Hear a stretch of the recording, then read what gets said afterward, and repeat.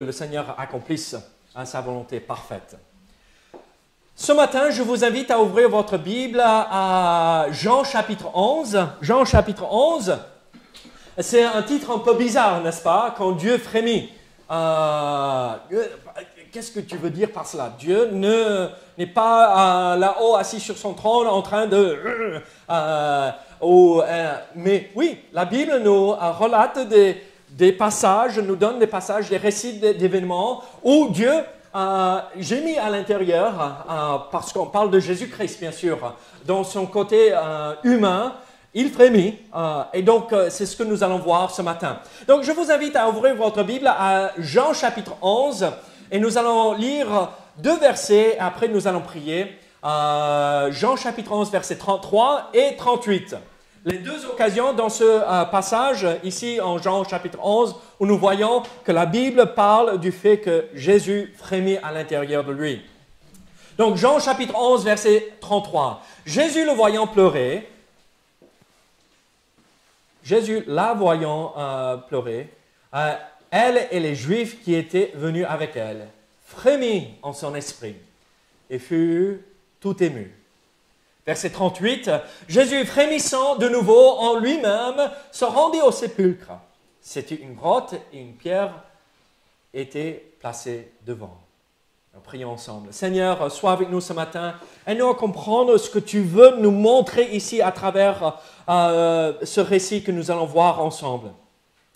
Euh, là où ta puissance va éclater, où tu vas ressusciter des morts, Lazare, ton ami, celui que tu aimais tellement. Mais Seigneur, dans ce même récit, nous voyons que tu es ému de, euh, compassion et, même plein d'autres émotions. Donc Seigneur, aide-nous à comprendre ce que tu veux nous dire à travers ce passage.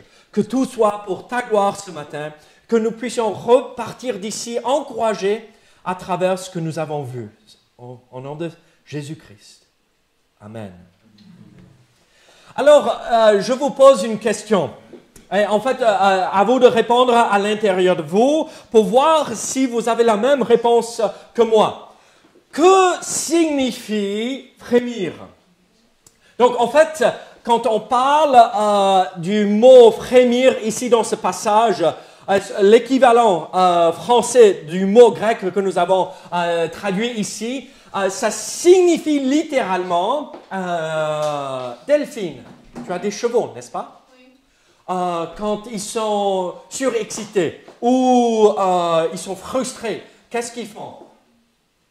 Ils... C'est comme un dragon. Oui, voilà. En fait, c'est ébroué comme un cheval. C'est ébroué comme un cheval.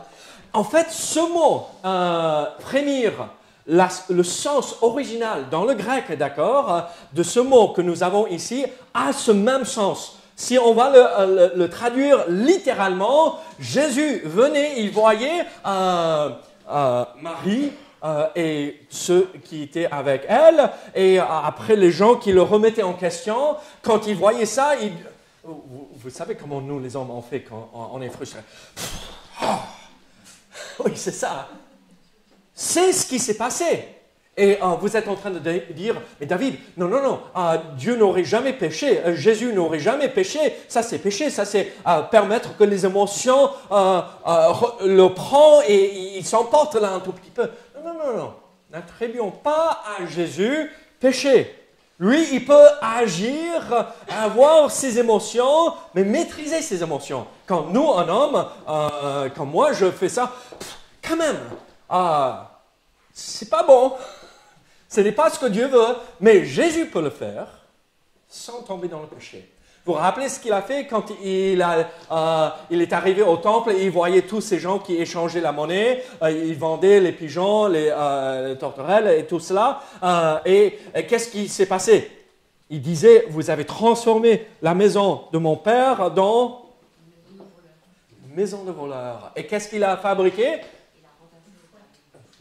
Euh, renverser les tables, fouet, et il les a, il n'a jamais touché euh, les personnes, hein, mais pour juste leur faire peur, qu'ils sortent, euh, qu'ils quittent les lieux parce qu'ils salissaient, ils rendaient impur le lieu. saint que Dieu avait choisi.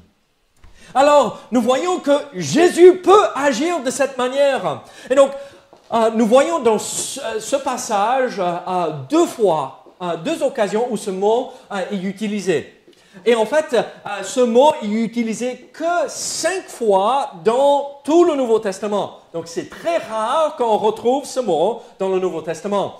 Et deux des cinq, c'est ici dans Jean chapitre 11. Et chaque fois que nous le voyons ici dans le Nouveau Testament, c'est toujours traduit comme une recommandation sévère. Regardez euh, ce que nous voyons. Euh, recommandation sévère dans Matthieu chapitre 9, verset 30.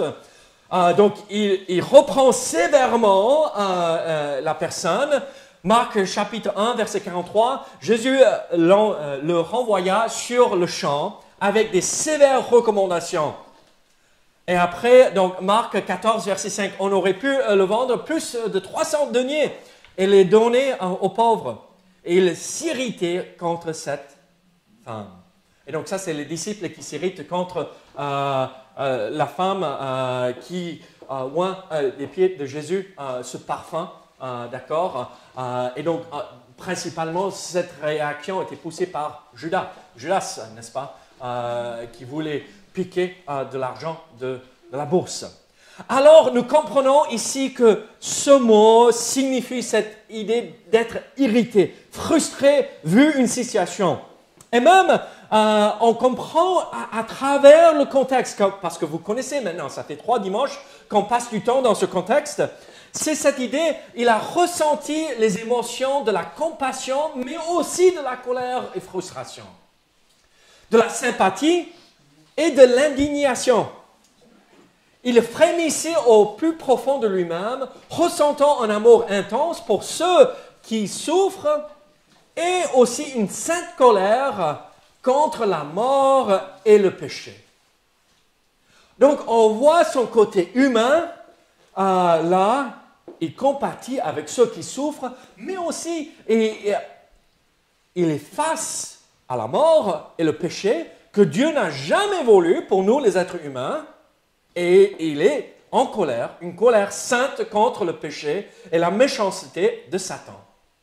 Alors, Jésus semble ici vraiment être en colère contre non seulement euh, la douloureuse réalité du péché et de la mort, euh, et, Lazare est l'exemple parfait ici. Cet ami qu'il aimait, euh, où il logeait chez lui. Vous imaginez Jésus venir à la maison, il mange régulièrement depuis des années avec cette famille, c'est des amis de longue date, et il est mort. Il voit tout ce monde qui est en pleurs, comment va-t-il réagir en étant Dieu? Il ne voulait pas que Lazare meure. Il ne voulait pas que le péché ait euh, l'emprise sur ses amis. Mais on est dans un monde déchu. Il ne voulait pas qu'il tombe malade. Mais on est dans un monde euh, sous l'emprise du péché et nous subissons euh, les conséquences de cela. Alors, on voit aussi qu'il est frustré si on pourrait le dire de cette manière, sans péché, hein, comprenez bien ce que je veux dire, mais aussi euh, par rapport au péché et la mort, mais aussi contre les amis et la famille qui étaient là de Marthe et de Marie, de leur manière de se comporter. On ne l'a pas lu, mais euh, dans le passage, nous voyons qu'il y avait une grande foule qui suit Marie, qui est dans leur maison pour euh, faire le deuil, et pour lamenter, pour pleurer. Et donc, on connaissait l'habitude de l'époque. Hein. Euh, ils réunissaient euh, et même on payait les gens pour venir euh, pour pleurer. Est-ce ça ce que Dieu veut? Où est l'espoir dans cette situation? Il n'y a aucun espoir. Et donc, c'est une belle façade. et Dieu dit, non, j'en veux pas de cela. Ça, terminé, fini. Euh, on va régler cette histoire. Donc il est frustré vu la situation. Euh, alors Jésus est, ému d'émotion.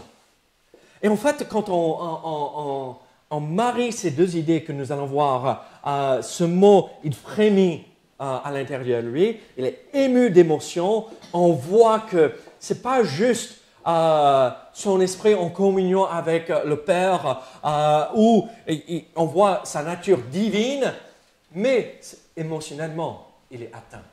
On voit son côté humain là. Il compatit, il souffre avec Marthe et Marie.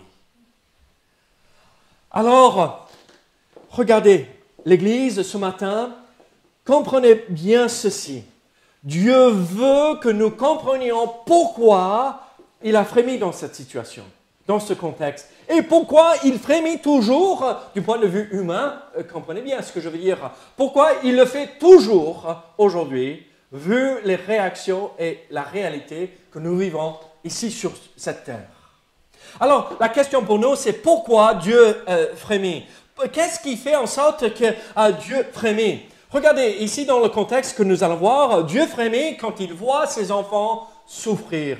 Donc, c'est ce point, de vue, euh, il est une sainte frustration parce qu'il nous aime tellement et nous subissons les conséquences du péché et ce n'est pas ça qu'il avait prévu au début de la création. Quand il nous a créés, euh, quand il a créé l'univers, il savait que chacun de nous allait vivre. Il savait que chacun de nous allait avoir des soucis dans notre vie, des soucis de santé, des problèmes euh, avec ceci et cela. Mais il voulait avoir une relation avec nous. Il savait que Adam et Ève allaient pécher et tomber dans le, dans le péché et, que nous allons subir les conséquences de cela, il a quand même créé l'univers pour qu'il puisse nous montrer et nous manifester son amour.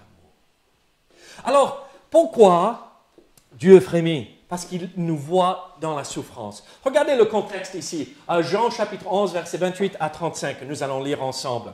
Jean chapitre 11, verset 28. Qu'est-ce que la Bible nous dit ici? Ayant ainsi parlé, elle s'en alla. Euh, secrètement, euh, euh, puis elle appela secrètement Marie, sa sœur, et lui dit, le maître est ici, et il te demande. Dès que Marie eut entendu, elle se leva promptement et alla vers lui. Car Jésus n'était pas encore entré dans le, dans le village, mais il était dans le lieu où Marthe l'avait rencontré. Les Juifs qui étaient avec Marie dans la maison et qui la consolaient, l'ayant vue se lever promptement et sortir, la suivirent, disant, elle va au sépulcre pour y pleurer.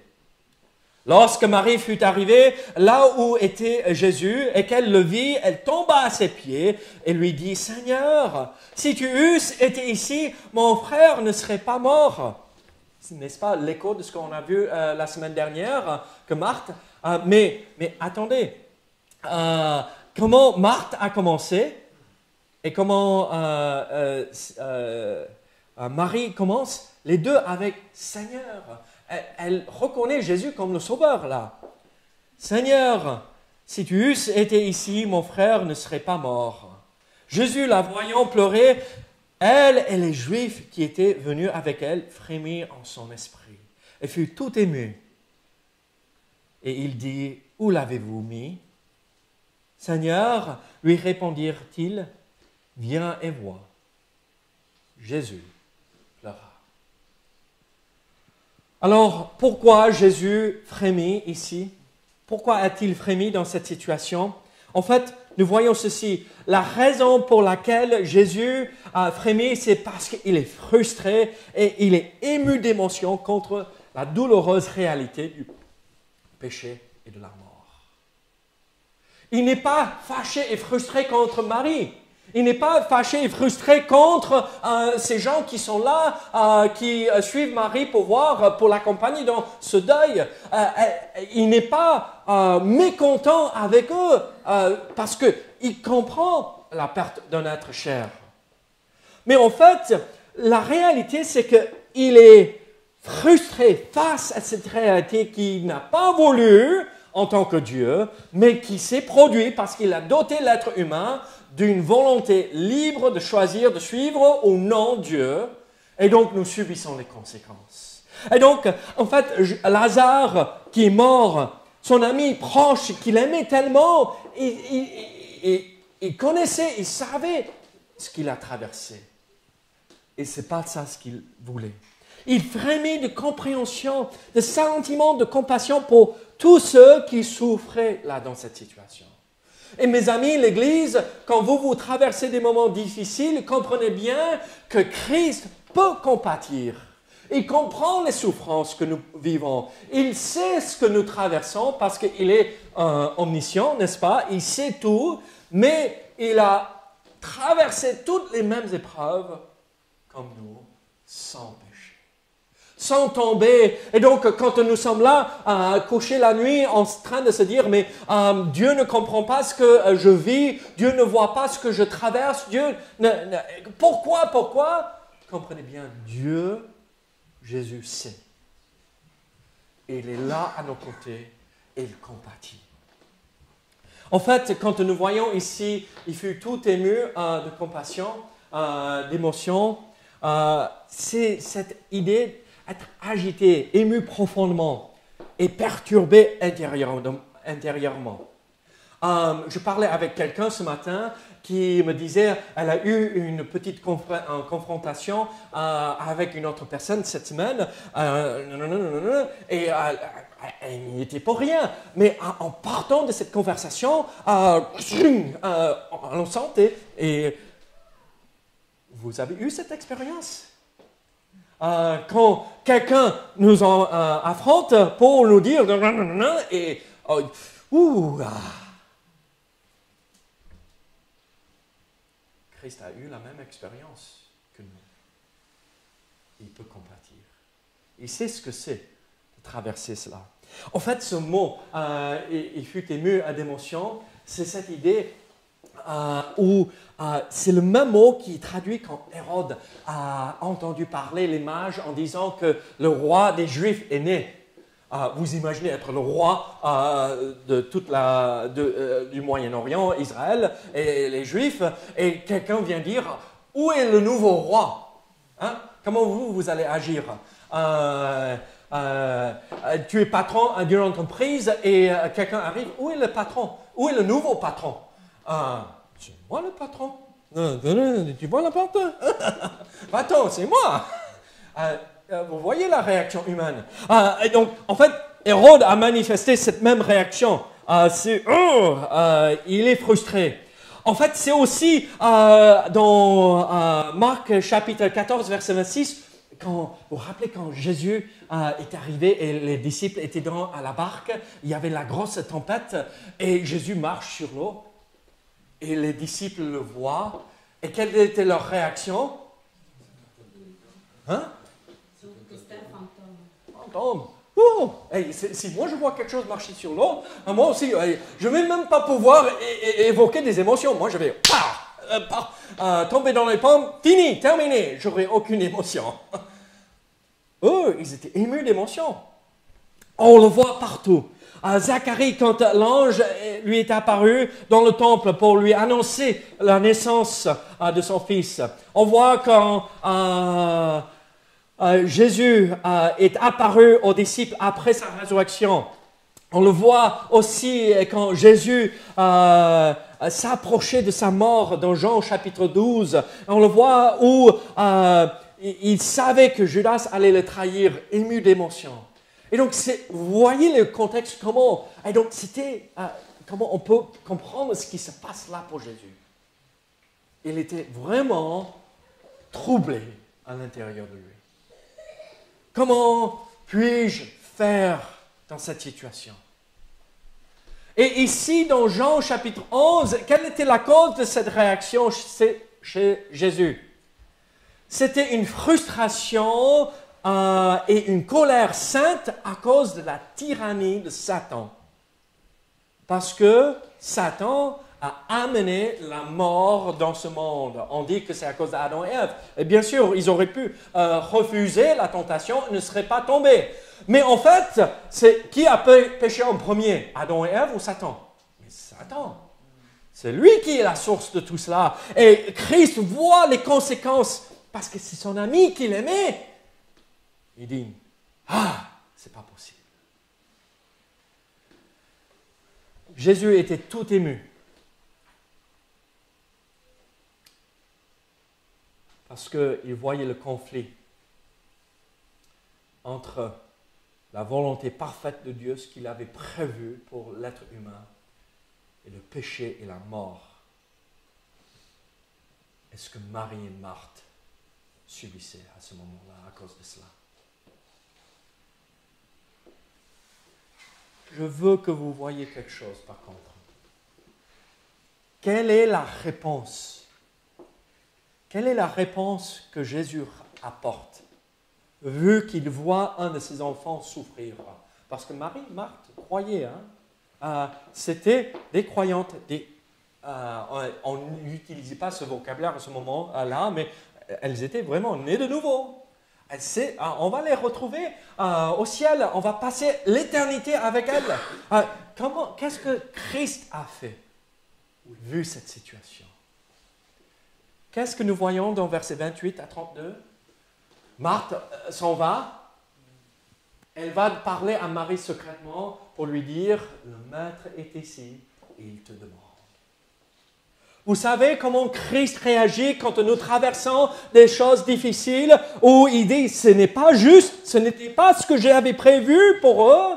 Et qu'est-ce qu'il dit?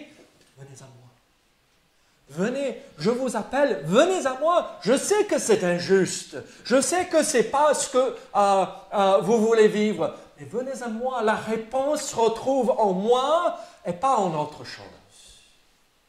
Les épreuves que nous traversons, les souffrances, la persécution même des autres, chaque fois, la réponse se retrouve dans ceci. Christ nous appelle à venir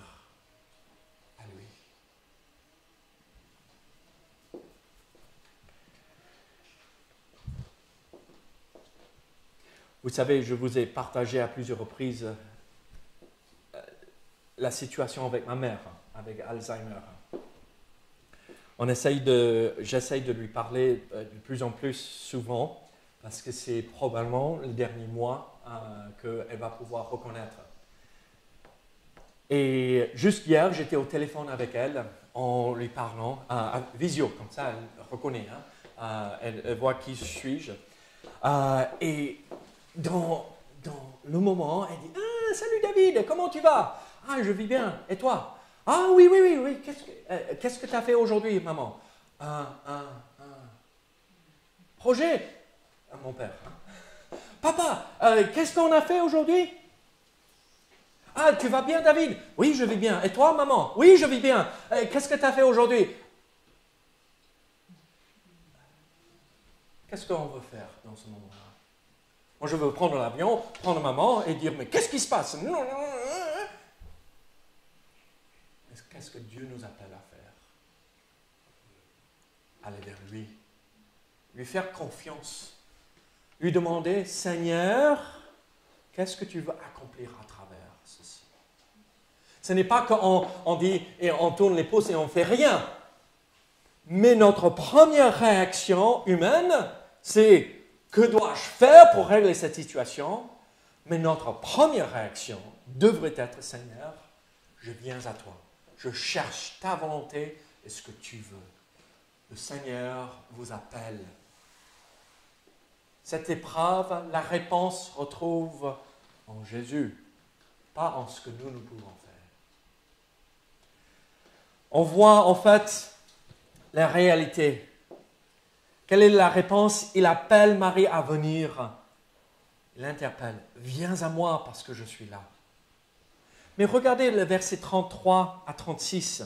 Qu'est-ce que nous voyons ici, verset 33 à 36 Jésus, la voyant pleurer, elle et les Juifs qui étaient venus avec elle, frémit en son esprit et fut tout ému.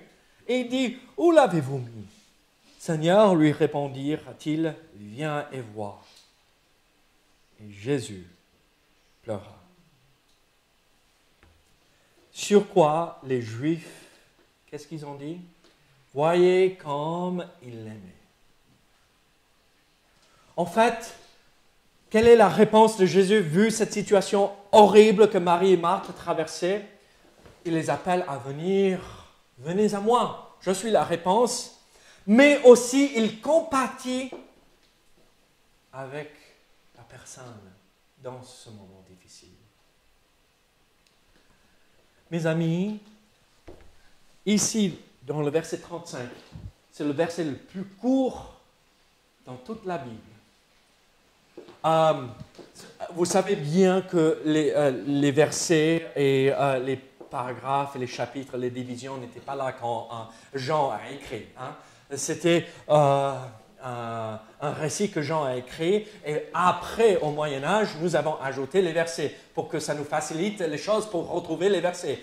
Et donc, Jean n'a pas écrit de cette manière, mais quand on a divisé et découpé les passages pour mettre les versets et les références et tout cela, moi je trouve qu'ils ont fait une bonne chose. Pour mettre l'accent sur cette réalité, Jésus pleura, Jésus compatit avec nos souffrances. Il n'est pas ce Dieu lointain assis sur son trône et dit, débrouillez-vous, je vous ai donné tout ce qu'il vous faut, ah, et ne m'embêtez pas, je vous verrai quand vous arrivez là-haut, ici avec moi. Non, il est à nos côtés. Il nous demande, venez à moi, faites-moi confiance. Et je sais ce que vous vivez. Je comprends, je vois. Il n'est pas un Dieu aveugle, mais il est un Dieu qui voit tout et comprend tout. Il est là avec nous ce matin. Alors nous voyons pourquoi Dieu a frémi ici, dans ces versets. C'est parce qu'il voyait Marie et Marthe, la famille qui était dans la souffrance. Mais nous voyons une autre raison pour laquelle Dieu a frémi. Dieu frémit quand on le remet en question. On questionne son autorité, on questionne son plan. Regardez euh, à, partir du verset 36 à 46. Qu'est-ce que nous voyons ici à partir du verset 36 Voyez comme il aimait. Et quelques-uns d'entre eux dirent, lui qui a ouvert les yeux de l'aveugle, ne pouvait-il pas faire aussi que cet homme ne mourut point? Ah, Vous vous rappelez, euh, je vous ai dit au départ, quand on commençait à étudier l'évangile de Jean, euh, Jean nous euh, donne sept miracles, nous relate sept miracles que Jésus a fait pour montrer la divinité de Jésus-Christ. Et donc, ici, euh, la résurrection de Lazare, c'est le dernier, pour montrer que Christ a le pouvoir sur la mort, qui veut dire, qui signifie, il est Dieu, hein, il est la source de, de la vie. Et donc, et là, l'avant-dernier, il a guéri l'aveugle, n'est-ce pas? Et les gens ont voulu le lapider à cause de cela, ah, parce que c'était un jour de sabbat. Et donc, c'était pour montrer que Jésus avait l'autorité sur euh, la fausse religion du judaïsme. Euh, il est le vrai Dieu, il faut le suivre plutôt qu'un système religieux. Et donc euh, là, on voit, les gens se rappellent, Jésus avait guéri cet aveugle. Et lui, il n'aurait pas pu guérir Lazare, celui qu'il aimait. Et regardez la réaction de Jésus suite à cela. Instantanément, verset 38, Jésus, frémissant de nouveau en lui-même, se rendit au sépulcre. C'est pas qu'il était déjà devant le sépulcre et il voyait euh, qu'il était vraiment mort, Lazare. Non, il entendait, parce qu'il est omniscient, il savait ce que les gens disaient. Il a euh, guéri l'autre, il a rendu la vue et il n'a rien fait pour celui qu'il aimait. Qu'est-ce qu'il a fait? Mais qui est-il vraiment? Est-ce qu'il est vrai? Vous voyez? Et là, à nouveau, au lieu de frémir de compassion, c'est frémir de mais quand même, j'ai fait tous ces miracles, j'ai accompli toutes ces choses extraordinairement grandes devant vos yeux, et vous agissez et vous vous comportez toujours de cette manière-là. C'est étonnant de, de voir ça. Et je vais vous dire honnêtement, dans les églises, on ne prêche jamais de cette manière euh, que Jésus frémit, était frustré, vu la réaction. Euh, euh, il marche sur les nuages et il n'y a rien que nous, on pourrait interpréter d'une manière de péché. Mais ce n'était pas péché, c'était frustration à ce refus de le voir tel qu'il était, ce Dieu Tout-Puissant.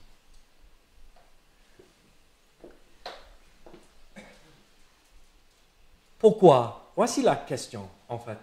Pourquoi Dieu n'a rien fait?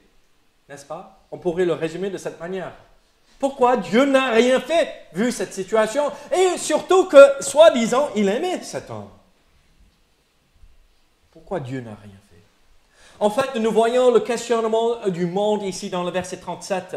Les gens ont posé la même question euh, que celle que se posent et si souvent les hommes de toutes les générations. Comment Jésus a-t-il pu aimer autant une personne, mais aussi permettre que ceci arrive? C'est Dieu même. Pourquoi il permet que ceci arrive dans ma vie? Pourquoi il ne fait rien? Pourquoi il n'intervient pas? Et c'est là où il faut comprendre que le problème, bien sûr, le, problème ici n'est pas chez Jésus, n'est pas Jésus. Le problème ne se retrouve pas dans le fait que Jésus n'a pas l'autorité d'intervenir, mais les gens ne comprenaient tout simplement pas que Dieu voulait. En fait, les gens ne comprennent tout simplement pas que la nature du monde, de euh, l'univers dans lequel nous vivons, euh, et euh, la nature même de ceci est la décadence et la corruption. On n'a qu'à ouvrir nos yeux et regarder ce qui est dehors, n'est-ce pas? Si vous avez allumé la télé cette semaine, vous avez regardé ce qui se passe dans ce monde, notre manière de résumer, c'est ceci. La décadence, la corruption, n'est-ce pas? L'épreuve et le trouble et euh, les choses difficiles, la souffrance et la douleur, la mort aussi. Et tout cela à cause de l'égoïsme et du péché. Voilà ce que les gens ne comprennent pas. Très souvent, je, reçois cette question, mais David, pourquoi Dieu a permis ceci? Ce n'est pas que Dieu a permis, oui, il a permis, mais pourquoi Dieu n'a rien fait? Mais comprenez bien, c'est pas ce qu'il voulait. On est dans ce monde corrompu et nous subissons. Mais Dieu est plus grand. En fait, les gens ne comprennent pas que Dieu aussi peut prendre les épreuves, la maladie, et peut transformer ça en une occasion d'accomplir une grande œuvre et quelque chose d'extraordinaire et merveilleux. Regardez ce que nous retrouvons dans Jean 11, verset 4. Vous vous rappelez de cela? Après avoir entendu cela, Jésus dit, Cette maladie n'est point à la mort, mais elle est pour la gloire de Dieu, afin que le Fils de Dieu soit glorifié par elle. Pour vous et moi, on comprend. Mais regardez Romains chapitre 8, nous savons du reste que toute chose concourt au bien de ceux qui aiment Dieu, de ceux qui sont appelés selon son dessein. Mon pasteur euh, aux États-Unis, euh, euh, il vient de prendre la retraite en août. Et j'ai eu l'occasion, la retraite pour les pasteurs, ça n'existe pas, mais il a laissé la charge de l'Église, la charge de chaque jour de l'Église à un jeune homme. et donc, donc j'ai eu l'occasion de prêcher le dimanche où officiellement il a transmis les responsabilités là. Et donc c'était une belle occasion triste mais aussi euh, une bénédiction pour moi de voir cela. Mais voici comment il disait euh, une fois, euh, c'était lors d'une étude biblique, et ça m'avait marqué. dans la cuisine, Goodwin, quand tu prépares tes plats de, de, chez toi, bien épicés, et tu m'appelles la prochaine fois, hein, hein je viens, et on prend un grand... Pardon? Hein? Et qu'est-ce qu'on fait? On ajoute. Et on ajoute. Et certains, pas toi et moi, hein, mais certains, euh, comme Paul, il va nous voir mettre du piment de Cayenne. Euh, parce que lui, moi, moi je plante euh, 14, 16 pieds de piment de Cayenne pour que lui, il en ait, et moi, que ça dure toute l'année, hein, au frigo hein, et au congélateur. Et donc, euh, on, commence à mettre, et euh, Paul va dire, qu'est-ce que c'est ce truc-là? J'ai jamais vu un truc comme ça. Il, va dire, euh, est-ce que je peux goûter? Et qu'est-ce que nous, nous allons dire Oh, doucement, mon pauvre, hein, prends un petit goût, un petit morceau, mais pas plus, parce que c'est... Et lui, il va dire, ah, arrête, mais c'est rien, mais non. On va l'amener à l'hôpital. Et il va dire, ce truc-là, c'est horrible. Oh, ça devrait être banni de la France et interdit parce que c'est dangereux. Et nous, on va dire, mais c'est bon ça. On aime bien manger épicé. Lui, il va dire c'est mauvais, nous, nous allons dire c'est bon. Euh, Greg, tu vas dire, ah, c'est extraordinaire, on est au ciel là, on est en train de manger ça. Et ce qui est mauvais, à la fin, cet ingrédient que lui, va détester, mais il va manger tout à, la fin quand tous les ingrédients sont ensemble, après avoir tout mélangé. Le mauvais et le bon. Et à la fin, ce qui sort, c'est quelque chose d'extraordinaire. Parfait. Tout, tout signifie tout. Toute épreuve, toute déception, toute bénédiction, tout moment joyeux, tout concourt au bien. Il y a un mouvement dans les églises qui disent toute mauvaise chose, toute épreuve, ça ne vient pas de Dieu. C'est clair, ce n'est pas ce qu'il voulait. Mais il peut utiliser cela pour accomplir quelque chose d'extraordinaire. Peut-être on ne saura pas ce que, ce que c'est avant d'arriver là-haut. Hein? Mais si nous restons fidèles, tout concourt au bien. Alors nous voyons le questionnement du monde ici.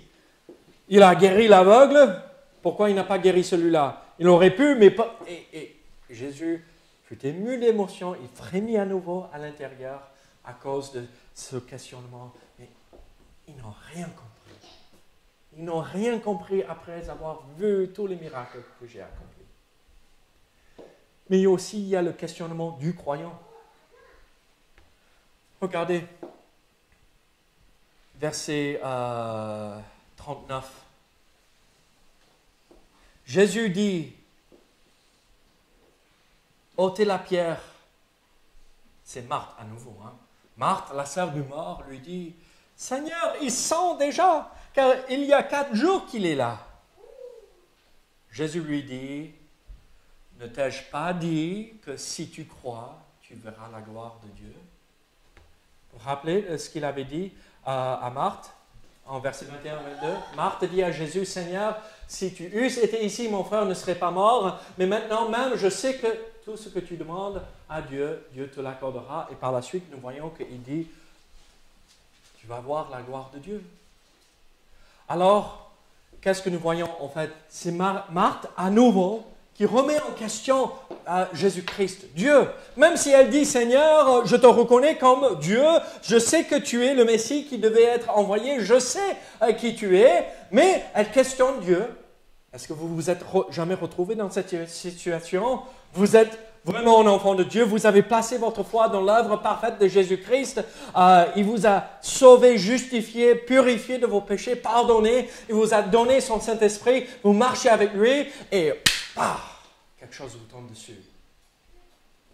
Et si vous êtes comme moi, vous dites, ah, mais Dieu, quand même, je suis là au culte chaque dimanche. Je suis là euh, pour chaque réunion possible, je fais ceci, je fais cela, je, donne la dîme et les offrandes, je fais ceci, je fais tout pour toi, Seigneur. Je même, je prends la Bible chaque jour, je lis, je prie, mais Seigneur, mais on est humain. Quand ça arrive chez nous, instantanément, on devrait se rattraper et dire stop. Je fais confiance au Seigneur. C'est plus facile de le dire que de le faire, hein. je reconnais. Hein? Mais faire confiance au Seigneur. Ici, nous sommes confrontés à une triste réalité. Marthe, une croyante, s'oppose à ce que Jésus affronte la situation. Il dit, enlève la pierre. Mais Marthe dit, mais, Seigneur, il est mort déjà depuis quatre jours. Ah, ça va sentir. Ah, c'est pas que tes chaussettes qui traînent. Hein. Ah, ça va sentir. Ça va sentir. L'objection de Marthe était empreinte de méfiance. Est-ce qu'il peut vraiment? Est-ce que vous êtes arrivé là? Est-ce que Dieu peut vraiment intervenir dans cette situation? Elle n'était pas sûre que l'action ou ce que Jésus allait faire soit sage et qu'elle soit la meilleure chose vu la situation. Ça fait déjà quatre jours, Seigneur. C'est peut-être pas la meilleure chose d'ouvrir le sépulcre. Ça, euh, euh, tu vois tout ce monde-là, ils vont partir vite.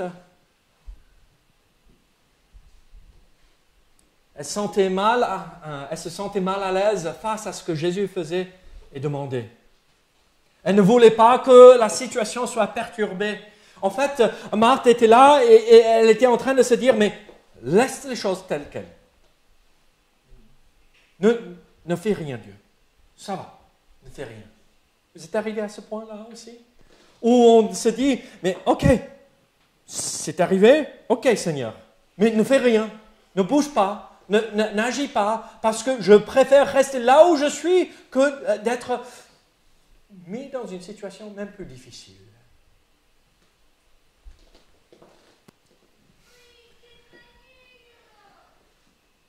En fait, Marthe était satisfaite des choses telles qu'elles étaient. Lazare était dans le tombeau, là où il devait être. Il est mort, Seigneur, laisse-le tranquille. Ce qu'elle voulait, c'était être réconfortée pas déranger. Mais moi, je vais vous dire ceci. Dieu veut déranger les choses dans notre vie. Il ne veut pas que les choses restent pareilles. Il préfère bouleverser l'ordre des choses afin que nous avancions avec lui que laisser les choses telles quelles. Il préfère chambouler tout notre planning afin qu'on s'approche de lui que de laisser les choses continuer dans leur train de jour. Beaucoup de croyants veulent qu'on ne touche à rien, qu'on se contente des choses telles qu'elles sont. Ils ne veulent que suffisamment de Christ pour être réconfortés, sécurisés et à l'aise. J'ai l'assurance incendie. Ça me suffit. Ils ne veulent rien savoir de ses exigences et de sa confrontation avec le péché dans notre vie. Mes amis, quand Christ vient s'installer chez nous, il va mettre de l'ordre dans notre vie. Et s'il ne commence pas à mettre de l'ordre, il faut se remettre en question. On voit Marie qui est troublée. Mais vous voyez la réaction. Hein? Qu'est-ce qu'elle fait? Ils ouvrent le sépulcre. Ils prient devant la foule pour qu'ils comprennent, il vient de Dieu. Et on dit cela, il cria d'une voix forte, Lazare sort et le mort sortit. Les pieds et les mains euh, liés de bandes, vous imaginez Lazare en sortant? Moi, euh, on sait où se trouve cette grotte aujourd'hui. Et, moi, j'ai des photos à la maison, j'aurais dû les mettre ici. Mais il faut remonter des marches. Hein. Euh, il fallait sauter en, montant les marches pour sortir avec les pieds et les mains bandés. Hein. Euh, ça aurait dû être quelque chose de drôle de voir ça. Un homme, il est là et il sort le visage enveloppé d'un linge, vous imaginez Lazare là en train d'essayer de, parler, je ne respire pas, enlève, enlève, je respire pas, et on entend... Euh, euh, moi, je serais parti en courant, hein. moi j'aurais tellement eu peur de voir ça. Euh, Déliez-le et laissez-le aller. Plusieurs des Juifs qui étaient venus vers Marie et qui virent ce, qui, ce que fit Jésus crurent en lui. Voilà ce qui est extraordinaire quand nous permettons à Dieu d'agir dans notre vie, même si on ne comprend pas, même quand on, dit que ce n'est pas raisonnable, Seigneur, on ne fait pas ça euh, chez nous, Seigneur, ce n'est pas possible, Seigneur, et on dit, d'accord, Seigneur, ta volonté pas la mienne, les gens vont dire, ce Dieu-là, je le veux. Mais seulement si vous et moi nous écoutons l'appel du Seigneur et nous allons à sa rencontre comme Marie a fait. Et nous obéissons à sa voix, nous mettre en pratique ce qu'il nous demande de faire. La bonne réaction ici, c'est ceci dans le verset 40. Ne t'ai-je pas dit que si tu crois, tu verras la gloire de Dieu? Ils ôtèrent donc la pierre et ils prient. Jésus a mis Marie au défi de faire un énorme acte de foi.